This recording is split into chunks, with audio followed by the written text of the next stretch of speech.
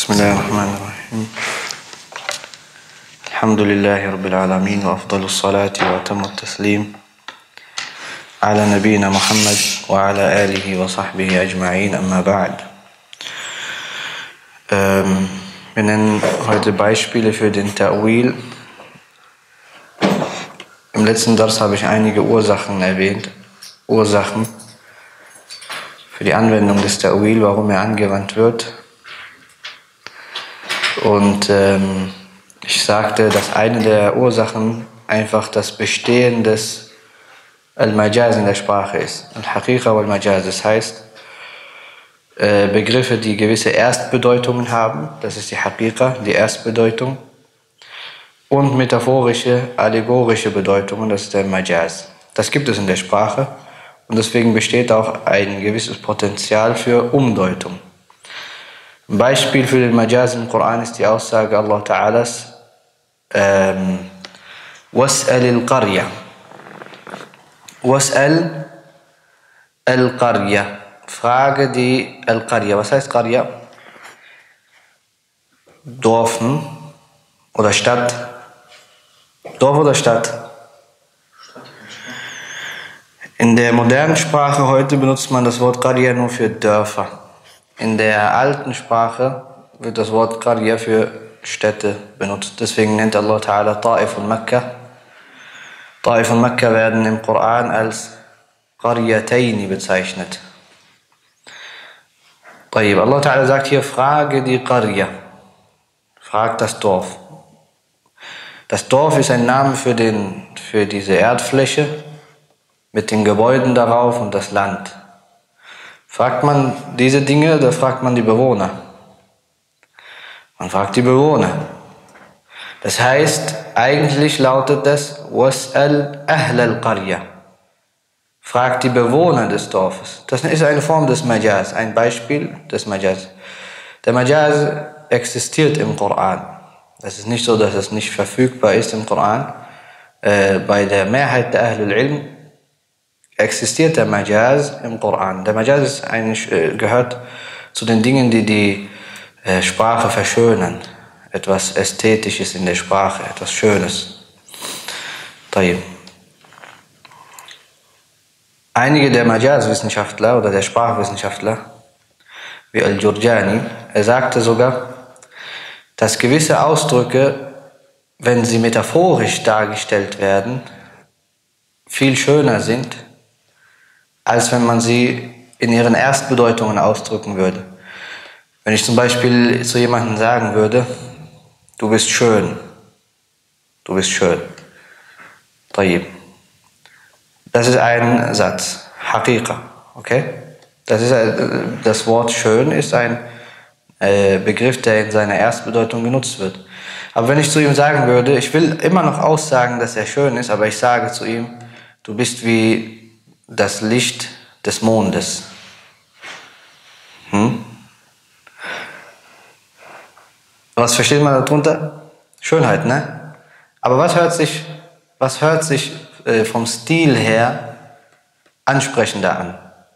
Dieses trockene, du bist schön oder du bist wie das Licht des Mondes. Hm? Oder ein anderer Vergleich. Du bist mutig. Du bist kühn. Oder die Aussage, du bist ein Löwe. Verschiedene Sachen. Das, das eine ist nicht wie das andere hinsichtlich des Stils oder der Schönheit im Ausdruck. Die Bedeutung ist aber die gleiche.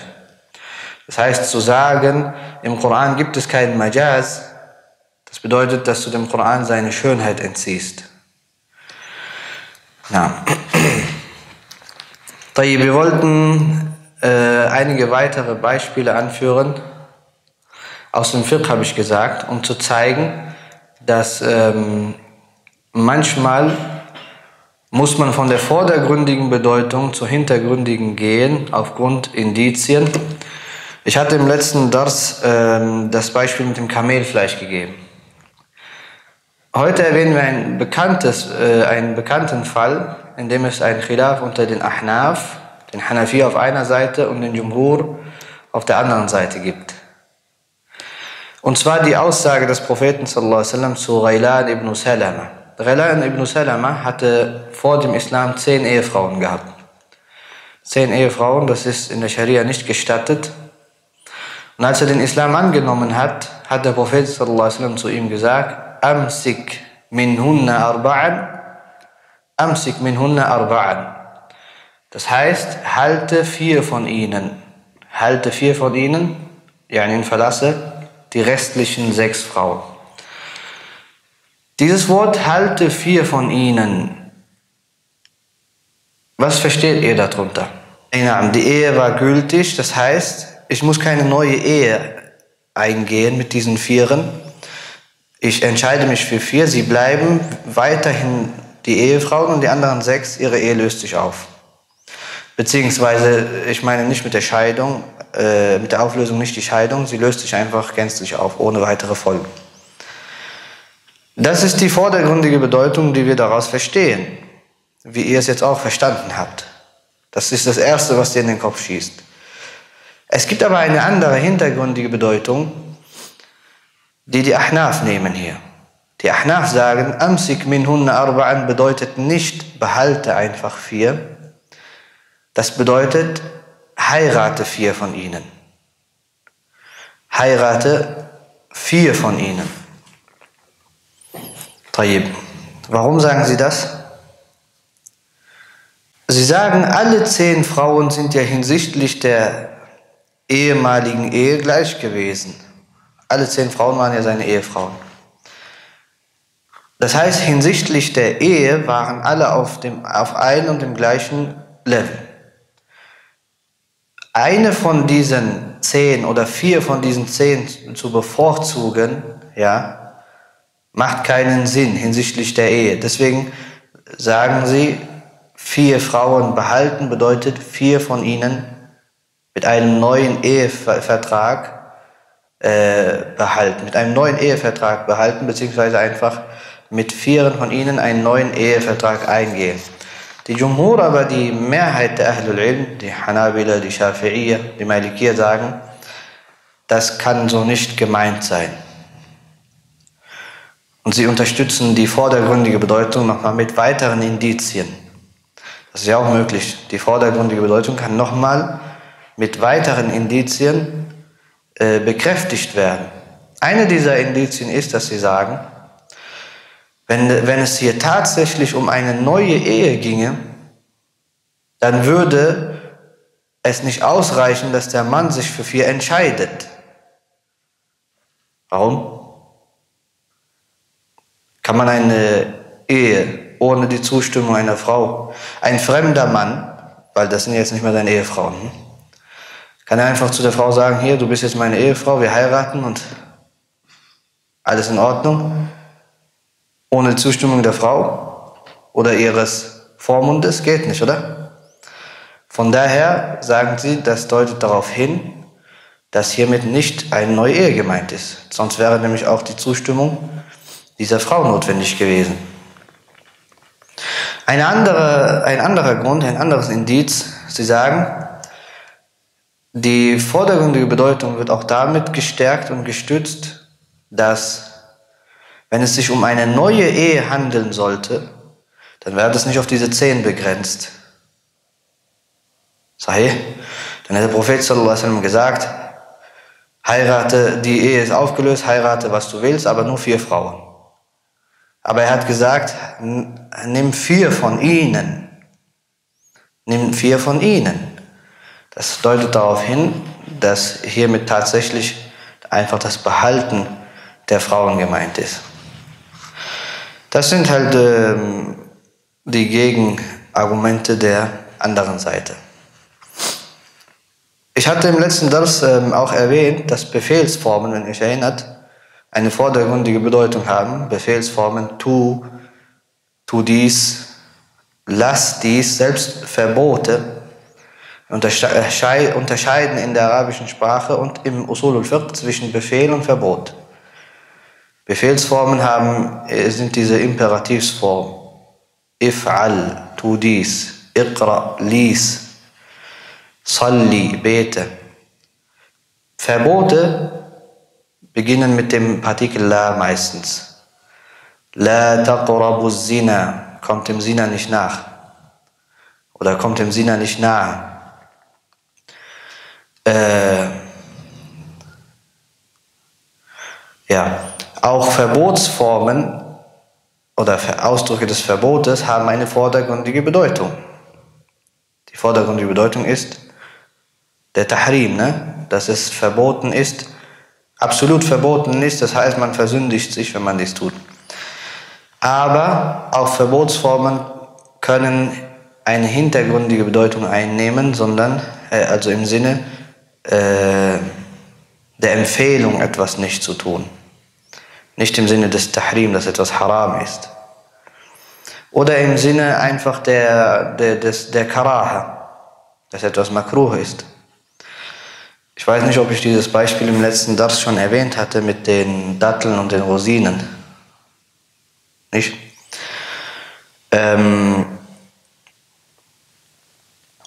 Ibn Umar, radiallahu ta'ala anhuma, er saß in einer Sitzung mit ein paar Leuten und er sagte, Naha Rasulullah sallallahu alaihi wasallam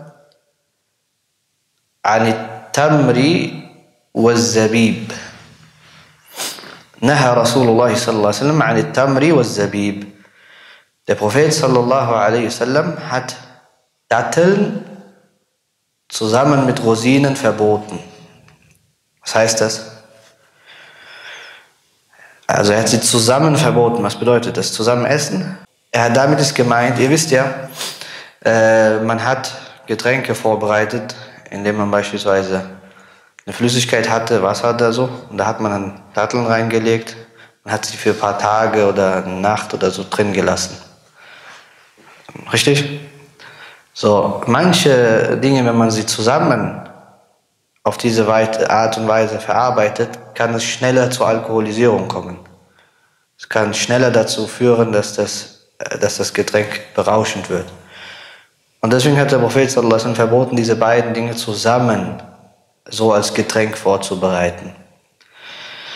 Tayyib ist es haram, wenn ich das mache und dieses, dieses zubereitete Getränk äh, dann zu mir nehme, bevor es, bevor es alkoholhaltig geworden ist. Alkoholhaltig, damit meine ich in einer Menge, die berauschend ist. Weil äh, ein geringer Anteil von Alkohol ist in vielen Lebensmitteln drin. Reife Bananen, das Brot, Hefeteig, ja, Früchtesäfte. Fruchtsäfte, sagt man, glaube ich eher. Alle haben einen geringen Anteil an natürlichen Alkohol, der einfach entsteht. Aber der ist so gering, dass er nicht berauscht. Wenn ich das machen würde, hätte ich dann etwas begangen, das haram ist? Nein. Ibn Umar hat diese Worte gesagt. Naha Rasulullah. Hier sehen wir das Wort Naha. Hm? Das übersetzen wir meistens in der deutschen Sprache als verbieten. وما آتاكم الرسول فخذوا وما نهاكم عنه فانتهوا und was euch der Prophet gibt, das nehmt und was er euch verbietet, dem enthaltet euch. Also einer der Anwesenden hat gefragt einen anderen, was hat er eben gesagt? Was hat Ibn Umar gesagt? Und dann hat der, der Mann, der das gehört hat, er hat den äh, Satz etwas verändert, ein Wort ausgetauscht. In seiner, nach seiner Auffassung ein Synonym. Er sagte, Harrama Rasulullah. Den Unterschied. Ibn Umar sagt, Naha. Naha kann heißen, kann heißen Harrama. Also er hat es als Haram-Handlung verboten. Kann aber auch heißen einfach so als Empfehlung. Wenn ich dir zum Beispiel sage, das, tu, tu das nicht, hm? tu so und so nicht. Ich meine damit, es ist besser für dich, wenn du das nicht tust. Das kann auch äh, das Wort Naha bedeuten. Der, der, der, die Person hat aber gesagt, Harama Rasulullah. Der Prophet sallam, hat es als Haram bezeichnet, dies zu tun. Dann sagte Ibn Umar, der hat das gehört, der sagte, Er sagte, Atakzibu ala Rasulillah? Lügst du über den Propheten sallallahu alaihi wasallam? Sagst du eine Lüge über ihn aus? Und er sagte, hast du nicht eben gesagt? Du hast doch eben gesagt, Naha Rasulullah. Oh, Harrama Rasulullah. Hast du das nicht eben gesagt? Da sagte er, kannst du das bezeugen? Wenn es haram ist. Und dann sagte einer der Überlieferer, er sagt, كأنه يقول anna min nahyin Nabi sallallahu alaihi wa adab. Er deutet darauf hin, Ibn Umar, dass es unter den Nahi, also den Verboten, ich übersetze mal so, Verboten des Propheten sallallahu alaihi wa Dinge gibt, die Adab sind, zum Anstand gehören, zu den Sitten gehören.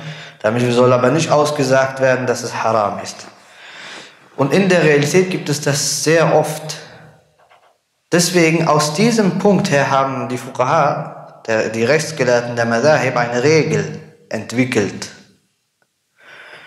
Eine Regel entwickelt, die sagt, Verbote und Befehle, die sich auf Sitten und Anstand beziehen, sind für den, für den Istihbab und die Karaha. Also dass etwas erwünscht ist oder wenn es ein Verbot ist, dass es unerwünscht ist. Also nicht pflichtverpflichtend und auch nicht haram. Ich gebe euch mal ein Beispiel dafür. Und übrigens, Leute, die einen gewissen Hang zur Zahiriya haben, zu diesem oberflächlichen Madhab, die neigen dazu, all diese Verbote und Befehle auch immer als Haram und Wajib zu behandeln. Es muss nicht immer sein, dass der wirklich ein Zahiri ist, aber ich meine, man sieht das bei einigen. Zum Beispiel das Essen mit der rechten Hand. Ist offensichtlich, dass es eine Sitte und Anstand ist, ne? Verpflichtend? Nein. Das Aussprechen der Basmala vor dem Essen. Ins, in, in, in Gefäße zu, äh, äh, wie sagt man, äh, zu pusten. In Gefäße zu pusten oder aus Gefäßen, aus Flaschen zu trinken.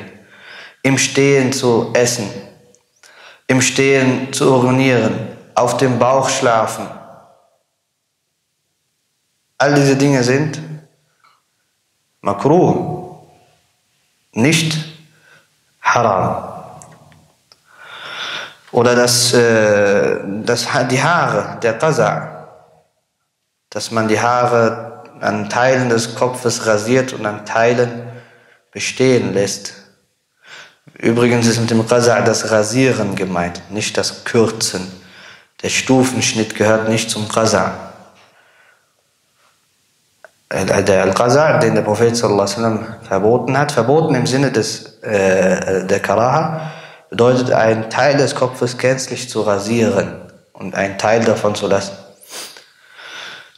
Oder beispielsweise auch das Verbot, ähm, die Kleidung zu krempeln im Gebet. Karaha. Hm?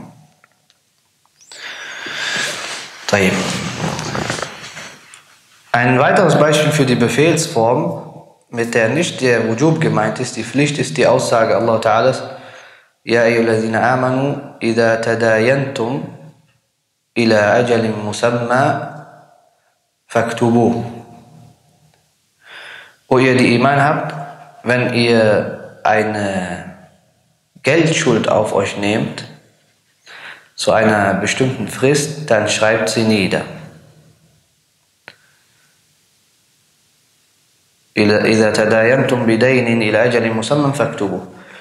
Ist das verpflichtend? Nein, ist nicht verpflichtend. Mit, mit, äh, bei allen vier Rechtsschulen. Es ist nicht verpflichtend, dies zu tun. Na.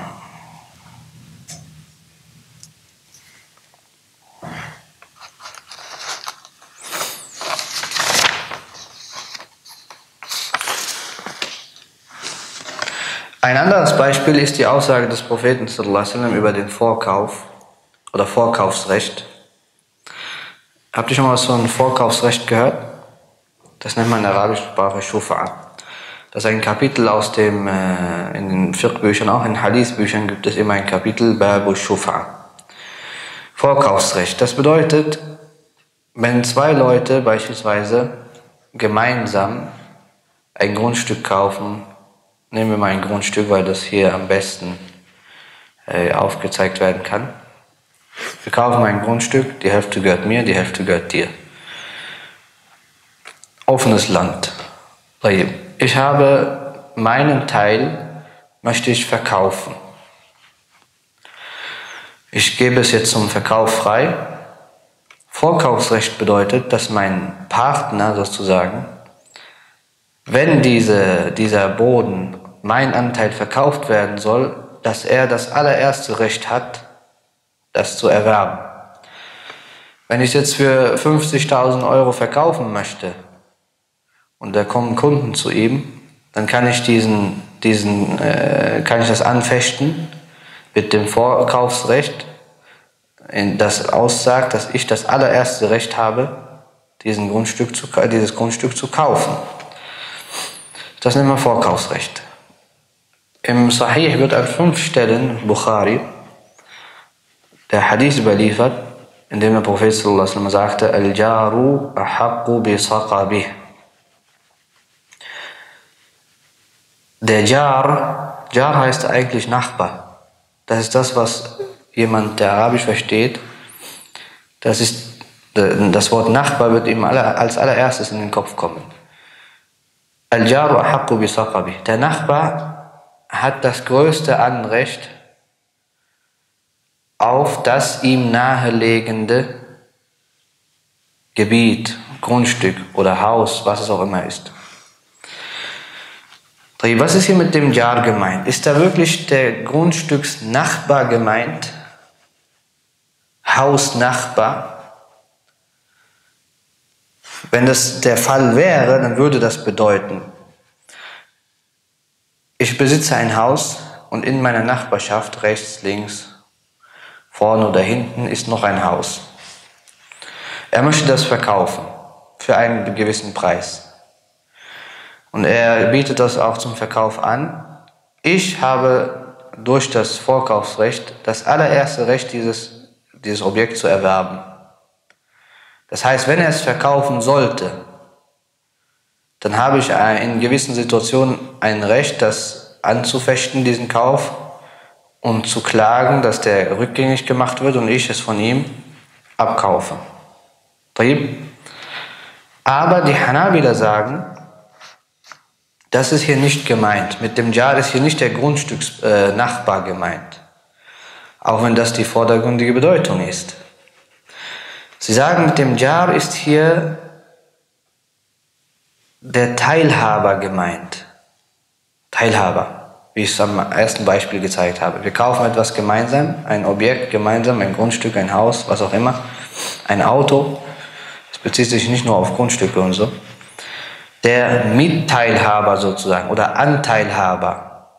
Mit dem Wort Jar, Nachbar, ist der Anteilhaber gemeint. Warum?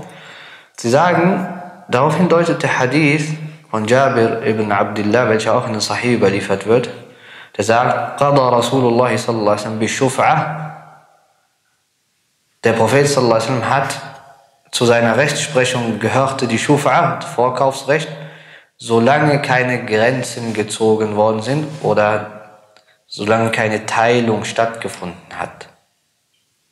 Das deutet darauf hin, dass es sich hier um Anteilhabe handelt, nicht um ledigliche Nachbarn.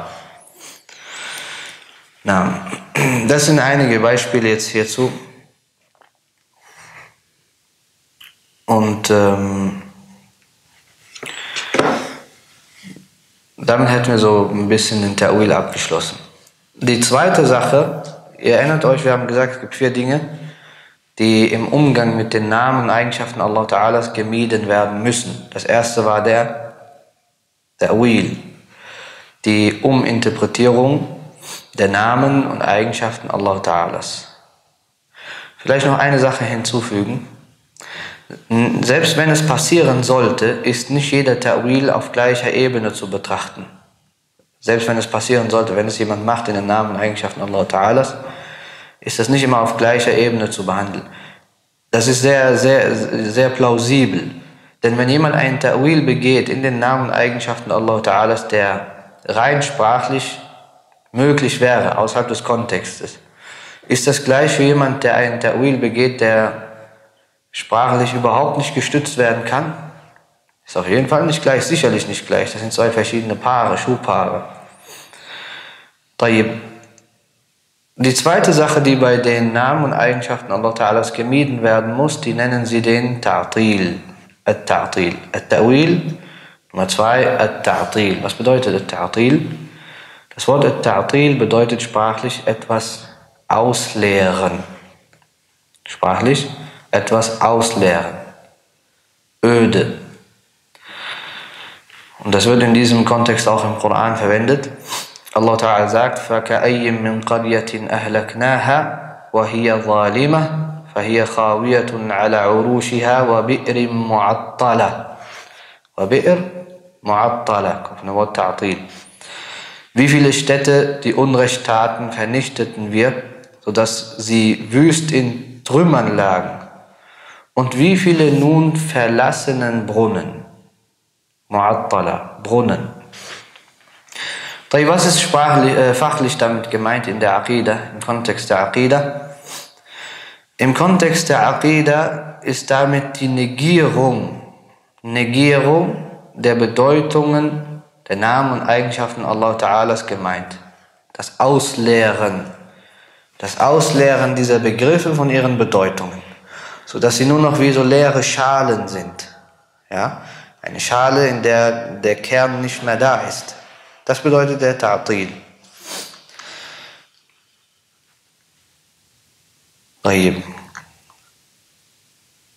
Ich eine Frage an euch jetzt. Wir haben ja verstanden, was der Ta'wil ist. Und jetzt haben wir auch verstanden, was der Ta'til ist. Was ist der Unterschied zwischen beiden? Gibt es eine Beziehung zwischen beiden und Punkte, wo sie unterschiedlich sind und Punkte, wo sie aufeinander treffen. Was von beiden ist allgemeiner? Ich meine mit allgemeiner, eines von diesen beiden umfasst und umschließt immer das andere mit. Wir haben jetzt den Tahrif. Tahrif haben wir gesagt, Uminterpretierung. Bei, bei dem Ta'til passiert folgendes. Die, den Bedeutungen wird ihre, den Ausdrücken wird ihre Bedeutung entzogen, sie wird von den Bedeutungen ausgeleert, wird aber nicht mit anderen belegt. Wird nicht mit anderen Bedeutungen belegt. Beim Tahrif wird die Bedeutung erstmal, die natürliche sprachliche Erstbedeutung wird entleert und sie wird mit neuen Bedeutungen belegt. Das heißt, jeder Tahrif beinhaltet auch den Ta'til, aber nicht jeder Ta'til beinhaltet den Tahrif. Es kann ja sein, er sagt, ich, er sagt, ich weiß nicht, was diese, wir wissen nicht, was diese Eigenschaften bedeuten, ja. Sie haben bei Allah Ta'ala gewisse Bedeutungen, die kennen wir aber nicht, aber er schweigt über, über ihre Bedeutung. Er schweigt gänzlich über die Bedeutung. Er belegt diese Begriffe nicht mit anderen vordergründigen Bedeutungen. Das heißt, nicht jeder, der den Ta'til begeht, begeht auch den Tahrif. Aber jeder, der den Tahrif begeht, der begeht den Ta'til. Deswegen ist der Ta'til, äh, der Tahrif allgemeiner. طيب. طيب, ich fasse es zusammen. Kurz. Der Prophet sagte in dem Hadith, er sagte, den gewaltigsten Namen Allahs findet ihr in drei Suren. In drei Suren. Das heißt, dieser Name kommt nur in diesen drei Suren vor, in keiner anderen. Wenn du äh, die, die, die Suren nachgehst oder die Verse des Korans nachgehst, wirst du finden, dass es der Name Al-Hayy al-Qayyum ist. Al-Hayy al-Qayyum. Der kommt nämlich nur an, äh, so in, in dieser Form, Al-Hayy al-Qayyum, nur in drei Stellen vor. In der Surah Al-Baqarah, der Ayat al-Kursi. In, in der Surah Al-Imran am Anfang und in der Surat äh, Taha. Aber es ist der Name Al-Hayy Al-Qayyum. Das ist der gewaltigste Name Allah Ta'ala. Das ist natürlich noch eine Auffassung der Gelehrten, wenn diese Ahadith authentisch sind. Ich hatte euch aber schon mal gesagt, dass Ibn al-Qayyim und andere der Auffassung sind, dass es der Name Allah selbst ist. Der Name Allah. Ja. طيب machen wir hier Schluss für heute. وآخر دعوانا الحمد لله رب العالمين